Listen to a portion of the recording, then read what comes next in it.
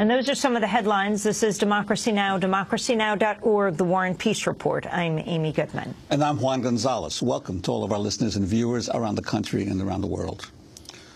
We begin today's show with breaking news in Texas, where an unknown number of people are dead and well over 100 injured after a massive explosion at a fertilizer plant near the town of Waco. Uh, the incident began with a smaller fire that ignited chemical tanks, causing an explosion that shot flames high into the air. A police official estimated 5 to 15 people have died, but the casualty count is expected to rise as day breaks. Some of the victims are first responders who reacted to the initial blaze. Dr. George Smith, medical director of West EMS, said 60 or 70 people may have perished. There was just a major, major explosion. The windows came in on me, the roof came in on me, the ceiling came in. I worked my way out to, to go get some more help. Uh, of course, we lost all communication because the power went out. Toxic fumes rising from the rubble of the plant raised major health concerns. Half the town was evacuated, buildings were gutted, dozens of homes were damaged, and several residents of a nearby nursing home were reportedly missing. D.L. Wilson, a state trooper with the Texas Department of Public Safety, compared the destruction to war. I can tell you I was there. I walked through the blast area. I searched some houses earlier tonight massive, just like Iraq, just like the Murrah building in Oklahoma City. Same kind of anhydrous exploded, so you can imagine what kind of damage we're looking at there. I know there was at least 75 to 50, 50 to 75 houses damaged. There's an apartment complex that has about 50 units in it that was completely just skeletons standing up. There's a nursing home in the area that 133 people in the nursing home. We've got them evacuated. I don't know what their injuries are, are there right now, but all injuries have been removed from the scene and taken to local hospitals in the Waco area. For more on this developing story, we go to the nearby town of Waco, Texas, where we're joined from the studios of news station KWTX by Jay Hicks, the station's new media director. Uh, we're also joined by Mike Elk, a labor reporter for In These Times magazine, is reporting on the explosion in West Texas since it happened last night. Let's go to Jay Hicks first in Waco. Uh, describe what you understand has happened until this point, Jay what I've understood is around 750 um, calls went out, uh, emergency calls on the scanners, um, completely lit up. And after that point, it's been complete chaos. Um, we know that there was an explosion. We know that it spread to uh, the local uh, nursing home as well as the intermediate school um, that's very close by. Um, and from there, they evacuated many of the senior citizens in the nursing home. And fortunately, there wasn't anyone, uh, according to the West superintendent, that were in the school. There weren't any students and there weren't any custodial staff.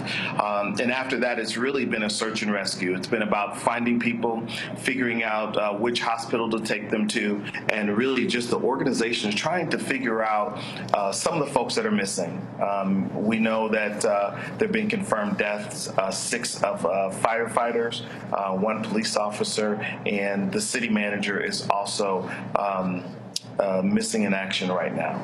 Uh, Jay, Hicks, uh, Jay Hicks, is there any indication of what was occurring at the plant before first the fire broke out and then the uh, and then the explosion? Or was the plant involved in any kind of of uh, uh, special maintenance or other work that might have triggered the fire? It's not known. We really haven't been able to come in contact with anyone. I spoke to the niece of uh, the, the gentleman who owns the facility. Um, she was unable to get in touch with anyone in her family. Um, so we really don't have any insights into what was going on in the facility. Um, the only thing we do know is obviously we've checked the records and we know that in 2006 the, the plant was um, was cited uh, by the state regulatory agency um, for um, not having a safety plan. So uh, beyond that, we really don't have much look inside into what was going on inside the, the factory prior to the explosion. And Jay, the Dallas Morning News is reporting documents show that the fertilizer plant that exploded uh, in West Texas reported to the EPA and local public safety officials that it presented no risk of fire or explosion. Well, you're right. We know that that was filed, and, and obviously we know that uh, right now the city um, of West, in terms of facts that we know, have been absolutely uh, devastated. Um, as the reports that you've uh, received and heard, and and um, again, the the words and descriptions are war zone. Um, you know, many of the homes. Uh, the, the, brick looks like uh, it's actually been almost blasted off of the homes nearby. Um, and so um, we know that those claims were filed, but we also know that there's been uh, a very tragic explosion that has probably changed West uh, in a way that uh, it'll be forever changed. Uh, and as and as daylight now uh, has uh, has come to uh, West and to the Waco area, uh, what's what's going on right there now? Are the are there still the bodies are still there of those who have, have died, and and is the area still completely cordoned off? Well, the area is actually they've spread out the area in terms of where they will allow media. Uh, the conditions have actually turned really, um, it, you know, made it more difficult for search and rescue. Uh, you probably can't hear, but at the station uh, where I'm located, there's actually the pounding of rain on the roof. It, it, you know, the visibility is really low right now. You can probably only see maybe several hundred feet the temperature dropped uh, in the last couple of hours, and there's also a wind that's coming through. So, you know, not exactly ideal you know uh, conditions that they're dealing with. Um, I think it's going to be a struggle this morning um, to get out there with the rain, the wind, and the cold weather. I know that the um, that the uh, uh, officials here will do the best job, but but they definitely have their work cut out because the conditions, uh, as I said, the rain is is is pouring right now. Um, Jay Hicks, can you describe the area uh, where you live, Waco, and nearby in West? I mean, this is an enormous facility. Clearly, um, uh, the toxic anhydrous ammonia, um, tens of thousands of pounds of it. Has it been a concern? And can you talk about who you believe is lost at this point, like the firefighters, the city manager? Well, right. We know those. Those are confirmed lost, uh, except for the city manager. Um, in terms of the facility, you know, West is a smaller town, as you as, as everyone has been learning about West, 2,600 or so people. Um, really a, a, town that uh, known around the world uh, for great football. You know, kind of Friday uh, night under the Texas lights. Many people in that town come out for the the West High School uh, football team, which is actually a smaller school but has a very strong tradition of, of having some competitive teams. Um, in terms of who lives there, a lot of the people, it's at 15 minutes outside of Waco, which is Waco's around 200,000 people. It's a smaller town. So some people, um, work in and around Waco. So it's kind of a stretched out, maybe bed bedroom community, uh, a little bit of a rural community, a tight knit community. Um, so I think this uh, will definitely be a sledgehammer uh, to the city. Uh, what's been the response of Governor uh, Perry at all? Has he made statements or come to the scene? he has made uh, um, statements. He made some of the last statement that I saw on Twitter was around 9 p.m. yesterday. Um, he said that he was uh, sending all state resources uh, to support the efforts uh, and, and, and uh, said he was praying for the people of, of West and uh, that's what we've heard thus far. Um, we've just been joined on the telephone by Tony Dudik, who is a local farmer um, at the scene last night uh, helping victims. Tony, can you describe what you saw last night?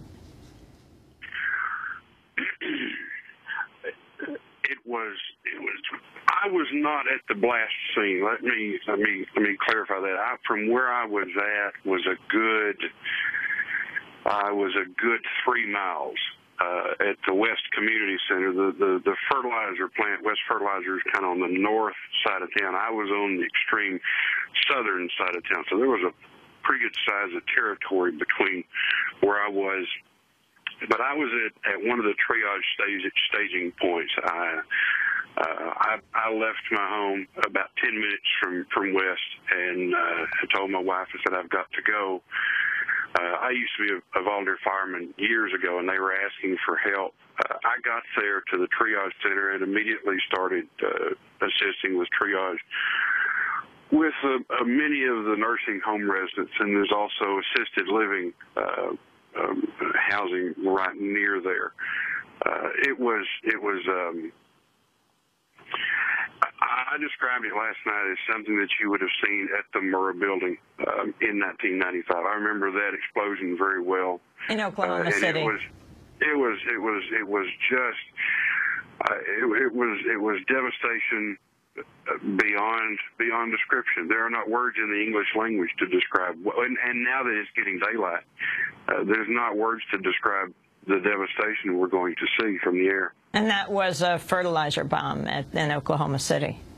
This this month, it was exactly this um, this week in uh, 1995, April 19th. Let, let's, let me let me let me let me let me say this before you, you don't. I don't want to, I don't want folks to get too far ahead in the, in their thinking. Um, we knew that was a bomb in in Oklahoma City. There are all the right components for a bomb can be found right or could have been found right there at West Fertilizer. Anhydrous ammonia, those those chemicals can be terribly unstable uh, if the conditions are are right. I've seen not anything of this magnitude. I've seen grain elevators explode with with a lot of destruction. I mean, it's it's like a bomb going off. But but let's let's don't get let's don't say this is an act of terror or anything. I think it's just a. a oh no, we were in no way in no way were we suggesting that. Just Yeah. the point was that it, that shows the power of when fertilizer blows up. Oh, it's incredible. Yeah. It's And, and, and, de- uh, devastating. Tony, uh, uh, Tony Dudik, I'd like to ask you: Do you, uh, from where you were, could you tell the how long was the period between the actual the fire breaking out and the firefighters responding and the actual explosion? That that I, I do not know. I did. I spoke with a, a, a colleague that I teach with uh, shortly before I went up there, and and he was at a meeting in West, not too far from from where West Fertilizer is. I'd say. Uh, by air, it's it was less than than uh, three quarters of a mile north of, of where West Fertilizer is. Um, he said there were people coming out there to the to the um, the the meeting. He said they saw smoke before the explosion. Somebody just thought, oh well, there's somebody's house, you know, or somebody's burning some some brush or or trash, and nobody really thought about it. They they heard the sirens and they knew uh, they knew that, that uh, the West Fire Department was responding, and then just a very very short period of time, um, probably less than 15 minutes, uh, is what he said. They they heard the explosion. Now he was he was a nearly a mile away uh, in a steel building, a large big steel uh, uh, building. He said it, knocked the, um the the concussive force was so strong. Uh, it, it knocked uh, uh, uh, light bulbs out of fixtures, uh, insulation out of the, the, the hanging ceiling. Uh, he literally felt the ground shook. My father and my cousin were eight miles away at our farm uh, west of there, and and my dad described it as as feeling like an earthquake. Now that's eight miles eight miles away from there. Thanks so much for watching this report from Democracy Now!, your daily independent global news hour. We don't accept advertising or corporate funding, but rather rely on donations from viewers like you. Please make your contribution by visiting democracynow.org. We need your support today to keep bringing you this hard-hitting, in-depth reporting.